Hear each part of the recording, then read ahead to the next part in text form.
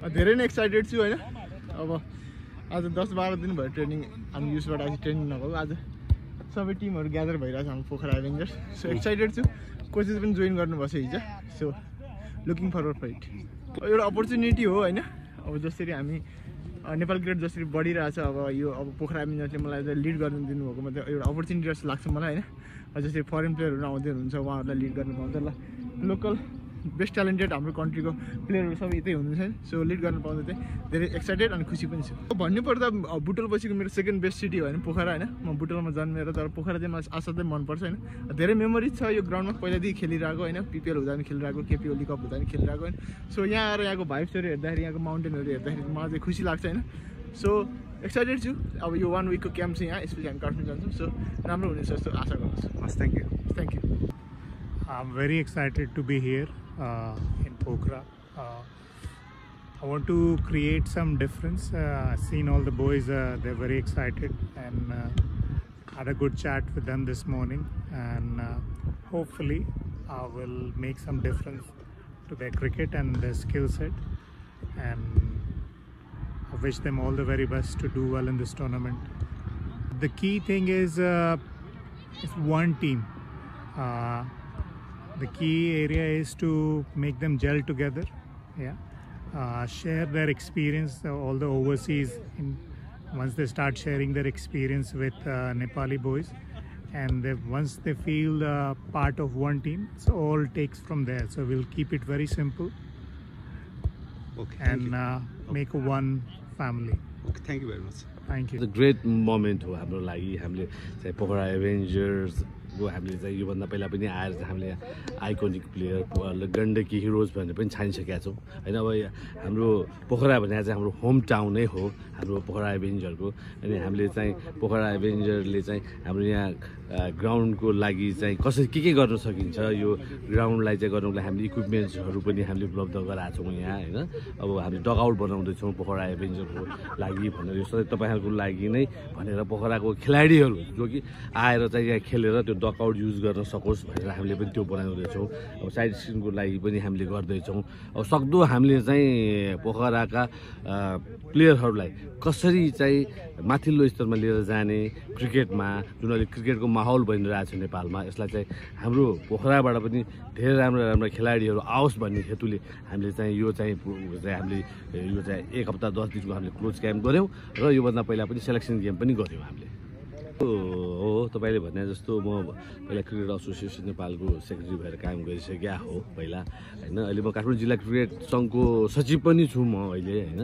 अहिले तर म चाहिँ पोखरा एभेन्जर्ससँग चाहिँ आबद्ध भएको हुनाले एज अ म्यानेजर यहाँ काम गरिरहेको हुनाले म चाहिँ पोखरा एभेन्जर्ससँग आबद्ध भएको छु।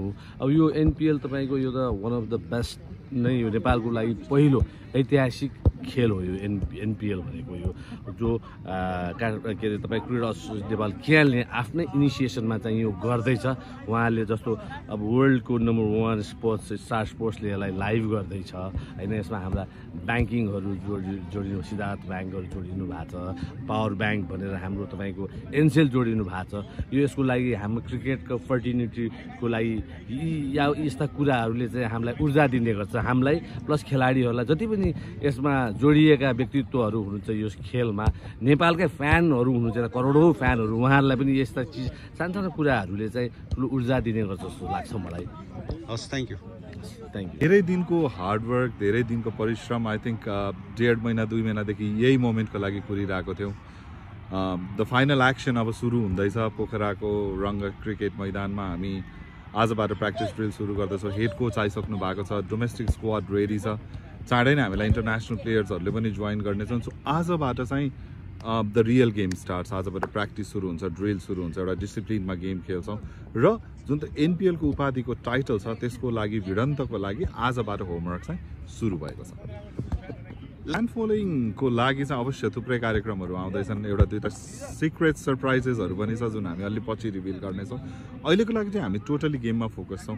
यदि कोही आएर हाम्रो प्र्याक्टिसकै ड्रिलहरू हेर्न चाहनुहुन्छ प्लेयरहरूलाई भेट्ने रहर हुन्छ अपकमिङ प्लेयर्सहरूले धेरै कुरा सिक्ने मौका पाउनुहुन्छ त्यसको लागि चाहिँ हामीले ग्राउन्डमा चाहिँ भित्र चाहिँ एन्ट्री दिन मिल्दैन रिस्ट्रिक्सन्सहरू हुन्छ।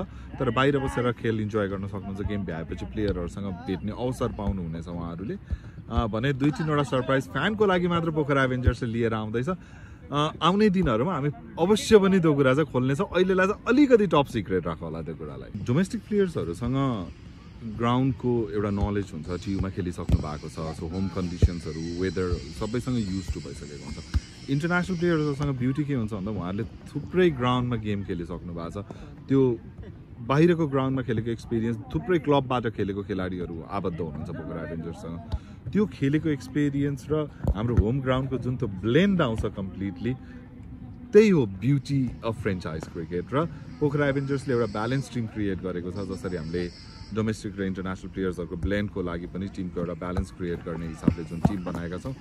विश्वस्त छौँ रिजल्ट निकै राम्रो आउनेछ थ्याङ्क यू you. हाम्रो एउटा अब किन एउटा दमौलीमा प्रोग्राम भएको हुनाले अब प्लेयरहरू होइन हाम्रो गाडीबाट आएको हुनाले आज अलिक सेसन ढिलो गऱ्यो हामीले होइन। जुन हिसाबले कास्की क्रिकेट जिल्ला क्रिकेट सङ्घले जुन प्रिपरेसन गरेको थियो उहाँहरूले बिहानै गरिदिनु भयो कि। तर हाम्रो जुन हिजोको सेड्युलले गर्दा हाम्रो प्लेयरहरू अलिक थाकेको हुनाले ट्राभलिङ जब तपाईँलाई थाहा छ अहिलेको बाटो कस्तो छ मुगलिङदेखि आउँदाखेरि अलिक लामो भयो बेलुका राति नौ बजी पुग्नु भयो होइन त्यही पनि प्लेयरहरू एक्साइटेड थियो किन पोखरा जस्तो ठाउँमा अब होम टिम भएको हुनाले आफ्नो ग्राउन्डमा प्र्याक्टिस गर्न पाउँदाखेरि हामीले कहिले हुन्छ ग्राउन्ड आउँ भन्ने जस्तो थियो उनीहरूलाई। तर आज अहिले आएर हामीले स्टार्ट गरेको छौँ सबै खुसी छन् खेलाडीहरू। हिसाबको अहिले प्रिपरेसन छ होइन। ग्राउन्ड अब हाम्रो अहिले मेन्टेनेन्समा छ होइन। जुन एउटा पिपिएल जस्तो जुन एउटा मेगा इभेन्ट भयो यहाँ पनि होइन। त्यो बेलाको इन्फ्रास्ट्रक्चर हेर्दाखेरि धेरै ठुलो मान्छेले सोचेको थियो होइन त्यो अनुसार यहाँ आउँदाखेरि त्यस्तो एक्ट एक्सपेक्टेसन पाएको छैन। तर हामीले के भनेको छ भने यो बिस्तारै यो हामीले बनाउने क्रममा छौँ होइन। प्र- प्रदेश सरकारबाट केन्द्र सरकारबाट बनिरहेको छ सबै कुराहरू होइन। नेपालमा बिस्तारै हुन्छ। नेक्स्ट इयर हाम्रो जुन अर्को एनपिएल हुन्छ यो बेला तिमीले योभन्दा राम्रो फेसिलिटिज पाउँछौ होइन। त्यो हिसाबले धेरैजना एक्साइटेड छ। अब त्यही हो ट्रेनिङ सेसन अब हाम्रो इन्डियाबाट हेडको जानुपर्छ होइन? अब त्यही हो हामीले अब डे बाई डे होइन? बिस्तारै हाम्रो अरू प्लेयरहरू पनि आउँदैछ होइन? ट्रेनरहरू पनि आउँदैछ। अब बिस्तारै ट्रेनिङ सेसनमा अब प्लेयरहरूलाई हुन्छ कसरी ग्रुम गर्ने त्यही कुरामा उहाँहरूलाई के कन्ट्रोल गर्छ आफैले भन्ने कुराहरू भइरहेको छैन त्यही कुराले अब बिस्तारै हुँदैछ हाम्रो ट्रेनिङ अहिलेदेखि सुरु।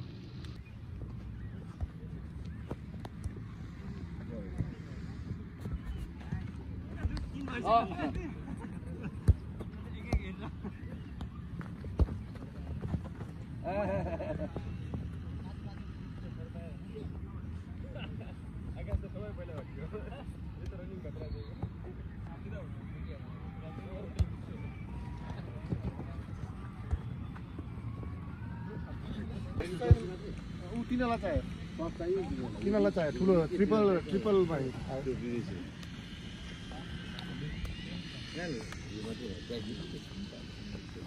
Aylık bu da senin şans numaraları. Şans numaraları. Rahatla. Neresi olsun?